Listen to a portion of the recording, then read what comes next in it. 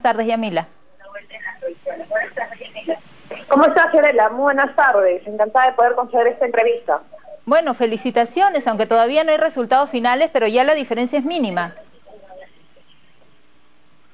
Sí, efectivamente, ya es, virtualmente ya soy la presidenta regional de Arequipa y aquí con mucho entusiasmo y un gran agradecimiento a todo el pueblo de la región que ha confiado en nosotros. Creo que finalmente el haber apostado por nuestra postulación significa que ven en los jóvenes y en esta nueva generación una esperanza de cambio y de transformación. ¿Crees que tu edad ha sido determinante para el resultado de esta elección?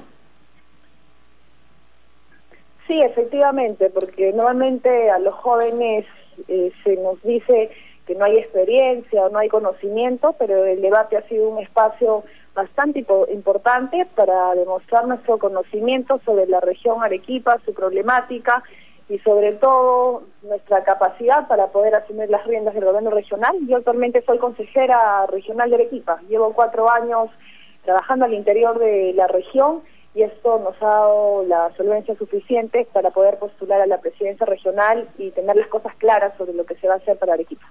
Ahora, la diferencia con tu contendor, con Javier Ismodes, es muy pequeña. Incluso el día de ayer él ya estaba festejando, pensando de que él sería el nuevo presidente regional. ¿Cómo trabajar con este gran porcentaje, alto porcentaje de la población que ha votado por tu contrincante?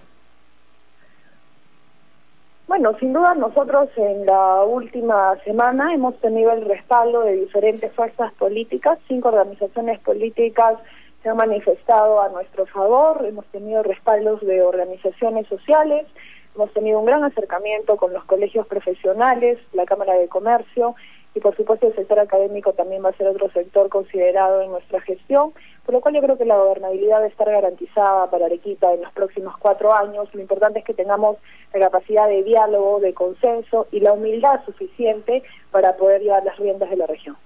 Bien, y finalmente, ¿cuál será tu plan de trabajo, tus prioridades, tus compromisos con la población? Bueno, hay proyectos que se deben de iniciar sí o sí. Majesiguas 2 ya pasó por la aprobación del presupuesto adicional de este proyecto y va a ser pues la primera obra que vamos a garantizar que por fin se ejecute, una obra esperada durante muchos años, como también otros proyectos de impacto regional como la conclusión de la autopista Yura La Joya, el ingreso a la variante de Uchumayo, el ingreso a Arequipa, y los accesos al puente Chilina, es el puente más grande que se ha inaugurado hace algunas semanas, que requiere de algunos trabajos complementarios.